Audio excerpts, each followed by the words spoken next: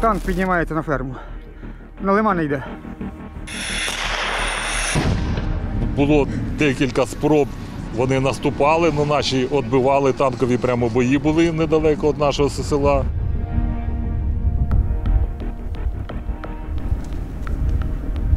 Вот такая у нас кино, ребята. Привет, фосфор. Ну, Тут кошмар був, що тут був? Все було танки, міномети, осягради.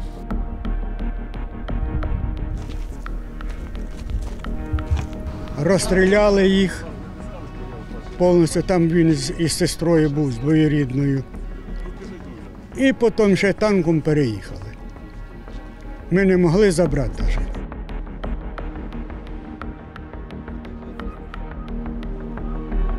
Ну, це, це настоящий військовий злочин. Фашисти так не робили, як вони.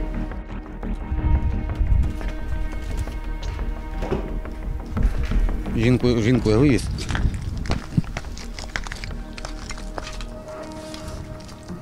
Потім повернувся, тут мати, мати моя була. З, з матір'ю тут- тут жили ми.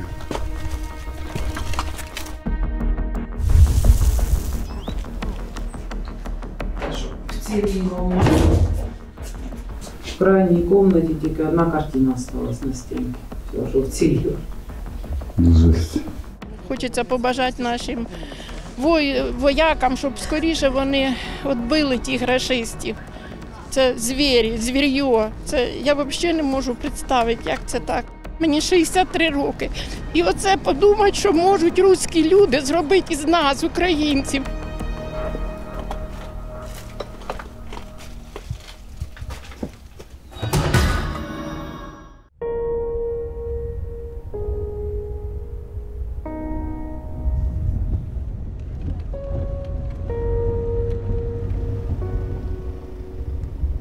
На подъезде к Таврийскому позиции российских военных, окопы, блиндажи, разбросанные коробки от сухпая и сожженная техника.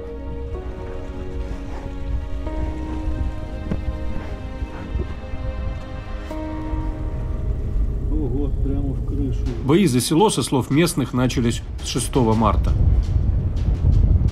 До нас десь числа 6 березня е, заїхав танк і, і одна броньована машина. Вони як розвідчики за те саме. Наших е, нікого не, не було військових, вони в Миколаїв захищали, тому що вони одразу пішли по трасі Херсон-Ніколаїв, рашисти пішли по трасі, і там були великі бої. На следующий день населенный пункт заняли ВСУ. В Таврийском гордятся ни дня не были под оккупантами.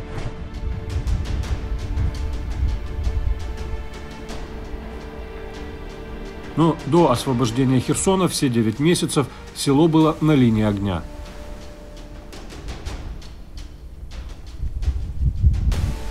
Ну, на следующий день з Ніколаєва зайшли наші ВСУ. І з цього буквально на следующий день вони почали наше село дуже жорстко обстрілюватися. Зразу десь процентів 10 кат порозбивало, час людей зразу ну, поїхало, а остальні ще в течение місяця вони вже наші ВСУ були. Вони обстрілювали, було декілька спроб. Вони наступали, на наші відбивали танкові прямо бої були недалеко від нашого села.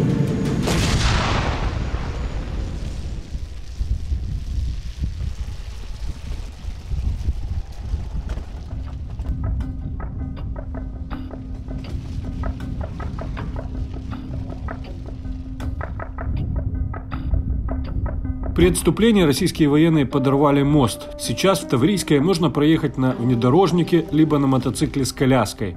Нас подвезла семья Довженко на Ниве.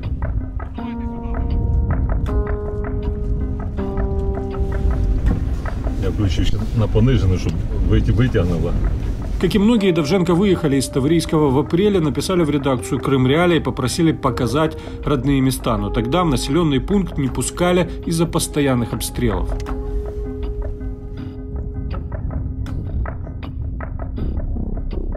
Все 9 месяцев в Таврийском безвыездно прожили три человека. Добрий день. Среди них и 76-летний Владимир Ильич. чудно, зараз усього хоч люди ходять. А то як дикар.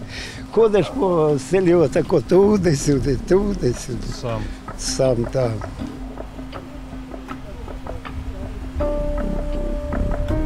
Все это время без воды, электричества и подвоза продуктов. В своем полуразрушенном доме Ильич разместил украинских солдат. Военные делились водой и харчами. Тоді я почав вже пекти хліб. Кажу, мука треба. Вони тоді достали муки там. Пекли, да, тут. Спали це на полу, повністю повитаскали ті столи, все там. Ну тут перебули, дров немає. Пішли в лісмуги, спиляли, попиляли дровами тут тої. Я їх заставив грубо, я кажу, давайте коло груби плиту зробимо, щоб тепліше було їх, сушитися було, б, щоб тої. Правда, хлопці заходилися, раз-два зробили. Люди бежали из Таврийского в одежде, которой были, оставляли ценные вещи и скот. Ильич присматривал за животными односельчан, кормил свиней, доил коров, пока те не разошлись по степи. Говорит, собаки в селе контуженные из-за мощных взрывов. Страшно було, звісно. Оці ось собаки, ось один і другий. Ну. Коло мене. Це я снаряд падає тут за у городі. Я тут під стінку бах, і вони на мене зверху. І, все. і, і вони зараз так і крутяться. Вже хазяїва прийшли, так вони крутяться коло мене. Ну, Дев'ять місяців коло мене їх кормив. Е, Одварював ці макарони, то жолопу, це ж що з хати насипаю їм. Їх 9 штук. 9 штук собачат тих.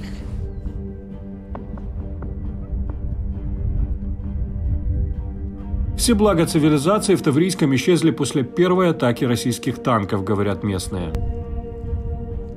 Його вони перший день почали обстрілювати, вони з танки обстрілювали перший день. Виїхали оттуда два штуки і давай.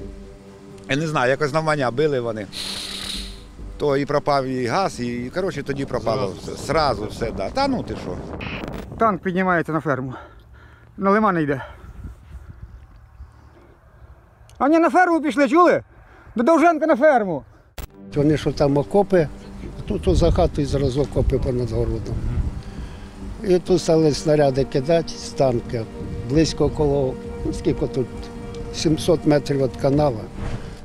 Российские военные забрасывали Таврийское фосфорными бомбами. Белые следы в небе хорошо видны на этом видео украинских военных, которые защищали село. По конвенции ООН 1980 года бомбить фосфорными боеприпасами населенные пункты и их окраины запрещено. Вот такая у нас кино, ребята. Привет, фосфор.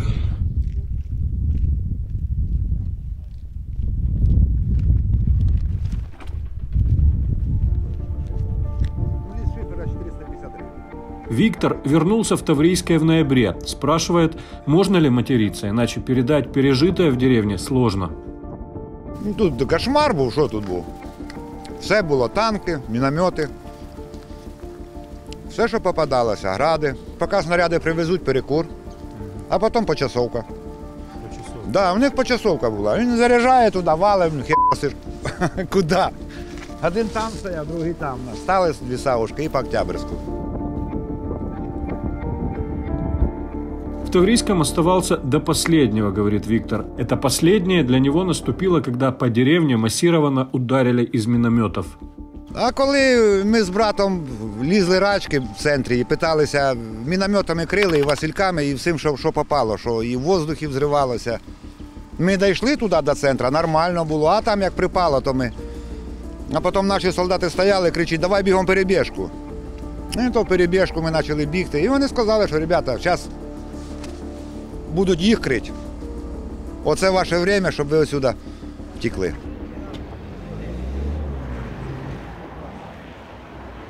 Некоторым жителям Таврийского убежать не удалось. Сколько человек погибло, официальной информации нет. По подсчетам семьи Довженко погибли шесть односельчан.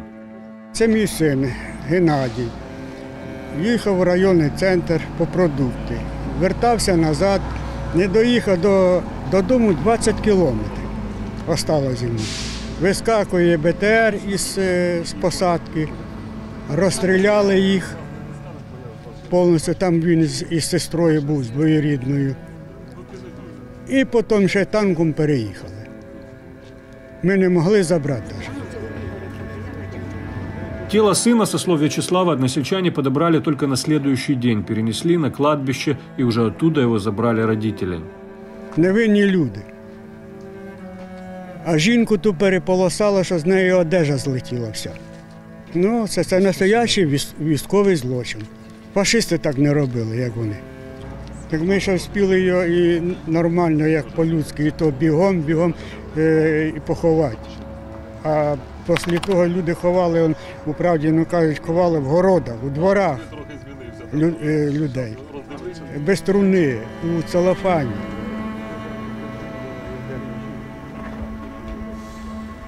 В 2019-м Елена из Волновахи уже бежала от войны на Донбассе. Тогда любимый человек настоял переехать в безопасное место на юг Украины, в Таврийское. Он все время говорил, говорит, я тебя увезу там и не буду стрелять. Что этот жах для тебя, говорит, прекратится. Но в феврале 2022 этот ужас вновь появился в ее жизни. Уже в Таврийском Елена стала свидетельницей гибели близких. Утром она, Нина пришла и говорит, дочка, и говорит, дайте, говорит, пленку что-нибудь, чтобы окна позабивать, чтобы детей можно было домой перенести. Я говорю, да у нас, говорю, нету. И пошла доить, людские коровы у нас стояли. Я пошла управляться. Меньший сразу подскочил, которому 17 лет. Тот побежал ей помогать. Когда и старший пошел, ну мы даже и не знали, что старший туда пошел. И тут начались прилеты, и 20 это было 20 апреля. И убила сразу двоих сыновей. Сразу. Это почти на глазах.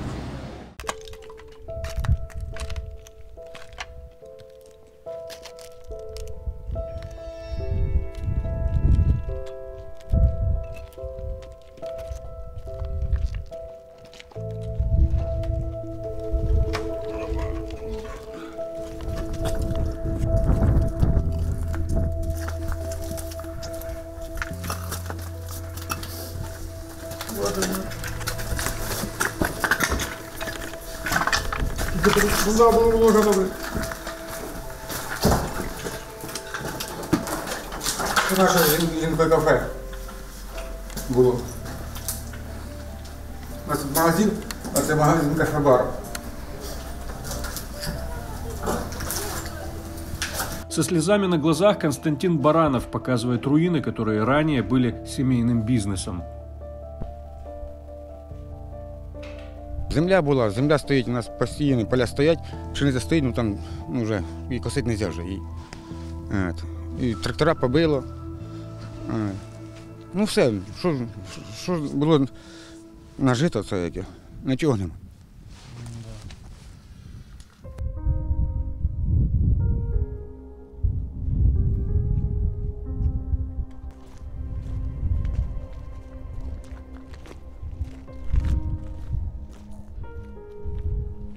В сарае осталось 50 тонн ячменя и пшеницы для посева ячмень пророс. На своем хоздворе Константин и теперь находит осколки снарядов, которые разрушили все вокруг. Снаряд такий, чужого елки-палки. Ну, це кусок одного. Остався. Уроженец Таврийского говорит, пережил все бомбежки в селе. Никуда не выезжал, не мог. Десь вже в марту місяці виїхали, а потім жінку, жінку я вивіз.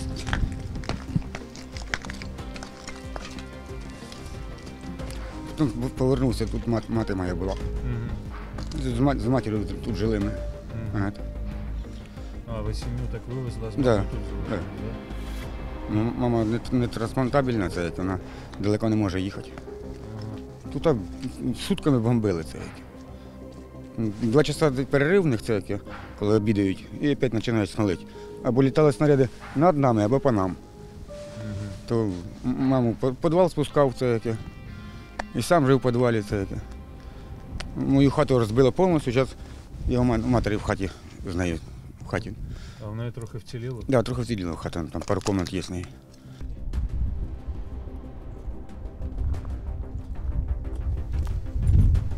Хата Сані Галя Чабанової. Константин ведет к своему дому. Идем по улице, где уцелевших хат нет. Я, це, це, моя, а це моя хата. Це ваша? Да, це.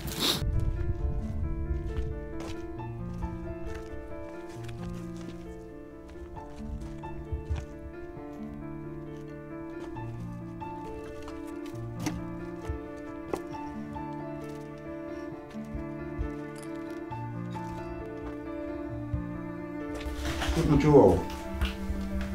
Одіяло це яке, і подушку забрав в машину. Бо тут, тут тільки не капає, а так тут, тут, тут, тут тече. Ну, все, тут, тут немає що ремонтувати.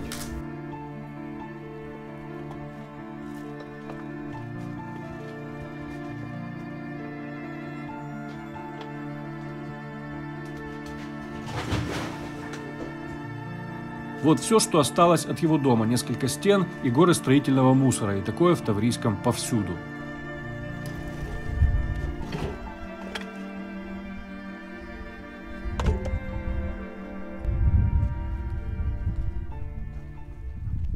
Хозяйка этого дома, Ирина, показывает свой дом, открывает двери в соседнюю комнату, которой нет. Котельная, ванна и все. А тут уже все. уже. Да. В крайней комнате только одна картина осталась на стенке. Все, что вцелило. Жесть. Ирина с мужем живут в Николаеве. Рассказывает, в городе их бесплатно поселили в частном доме. Семья регулярно наведывается в Таврийское, ремонтирует то, что еще можно отремонтировать в своем дворе. Пытаемся отстраивать те, що сталося. А коли повернулись, розкажіть. Ми приїжджаємо. При- час сюди. Ну так, да, приїжджаємо, що то накриваємо, кухню перекривали, бо кухня вціліла. Ага, тільки кухня. Кухня, да, хата вся вигоріла, кухня вціліла. Перекриваємо, приїжджаємо. Не знаємо, чим там воно розбило його. Ну, хоч що то треба робити. Во многом работу стопорит отсутствие света, воды и газа. На момент, когда мы приезжали в Таврийское, коммунальщики до села еще не добрались. Якщо буде світло, бо двоє діточок, якщо буде світло, то будемо щось відстраювати, щось, робити. А так не знаємо, ще не знаємо.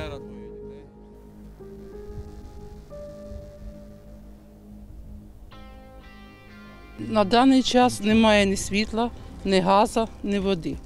Поки нам нічого влада не обіцяє, тому що І мости зорвані. і взорвані мости, е, тому що до цього часу до нас ще ніхто не приїздив і не дивився, яка в нас справжня сьогодні обстановка в селі. Светлана Довженко писала нам о Таврийском еще в конце августа. Несмотря на обстрелы, порывалась приехать в село, увидеть все своими глазами. Теперь Светлана дома, но чувства смешанные. Відчуття, що ми повернулися додому, справжнє таке, ну що ми вдома. Але бачачи такі руйнації, то дуже боляче і неприємно розуміти, що це треба буде відбудовувати. Але вже на своїй території, в своєму подвір'ї. Как и многие на юге Украины, семья Довженко занимается сельским хозяйством. По местным меркам они крупные фермеры. Этим летом война не дала собрать урожай. Соответственно, прибыли от продажи зерна и семечки семья не получила. Перед війною у нас всі поля були засіяні, пшениця, ще дощики дуже хороші попроходили, і все воно погоріло, все, все, осталося. Є у нас ще складське приміщення, стекла повибивані, е, осталося там сімечка і, і зерно. Якщо не пропаде, то, то може е, вдасться хоч щось реалізувати, хоча качество вже не, не те. У нас дороги погані до дороги. Це раніше весни, мабуть, нічого не, не вийде. Российские снаряды прилетели во двор фермеров и повредили дом. Один из ударов пришелся по цистерне с топливом для заправки сельхозтехники. Осколки побили трактора и комбайн. З нашої бригади зруйновано, е, пошкоджено сім тракторів, ось, які ви бачите. Зовсім новий, ще рік немає. Майже не використовували сіялка no-till. Е, Новий ззаді трактор МТЗ. Комбайн зруйнований. На 80% зруйновано техніки. В планах семьи, говорит Александр, засучить рукава и работать. Настроение соответствующее. Даже дочь Мэрилин после учебы в Киеве готова вернуться в Таврийское. Я ще працювала в автокомпанії в Херсоні і навчалася. І влітку завжди я допомагала батькам. А як уже склалась зараз така ситуація, то звичайно я приложу максимально зусиль, щоб ми змогли відновити свою роботу і почати надалі займатися тим, чим ми звикли і любимо. Но чтобы восстановить и вновь запустить любимое дело, нужны государственные кредиты, убежден Александр Довженко. Он планирует засевать свои поля, но не знает, когда это сделает. Поля не разминированы. Таврийская расположена на краю Херсонской области. До областного центра более 50 километров. До Николаева ближе, чуть больше 40. Эта удаленность от больших городов пугает жителей Таврийского. Люди боятся, что о них забудут. Після війни, коли це все як скоріше закінчиться, дай Бог, я хочу звернутися, щоб наше село не було забутим, тому що воно на окраїні, і в мене одне прохання, щоб воно не було забутим.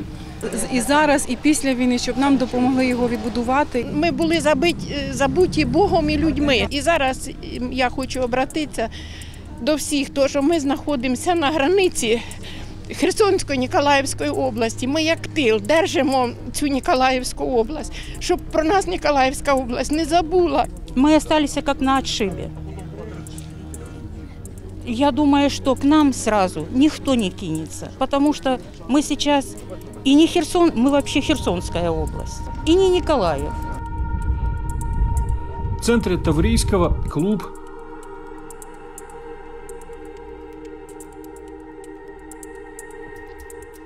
и местная библиотека.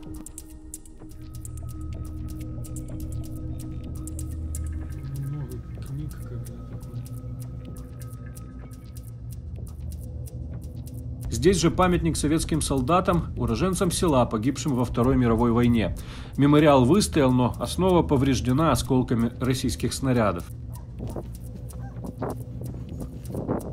Хочеться побажати нашим вой- воякам, щоб скоріше вони відбили тих рашистів. Це звірі, звір'йо. Це я взагалі не можу представити, як це так можна, руські. Це ж наші браття. Це я прожила мені 63 роки. І оце подумати, що можуть руські люди зробити із нас, українців. Та це в голові навіть не може такого собі представити. Я ночі сплю і думаю, чи це мені сон, чи це мені кажеться це все. Розрушить усю нашу Україну повбивати мирних жителів і продовжують же ж бити. Ми лягаємо спати, молимося, просимо Бога, щоб ми вижили і утром проснуться. В апреле большинство жителей Таврийского выехали из села и компактно поселились в пригороде Николаева. С тех пор мечтали вернуться в свои дома. Но получилось возвращаться некуда. Сейчас в Таврийском живут 6-7 семей, не больше.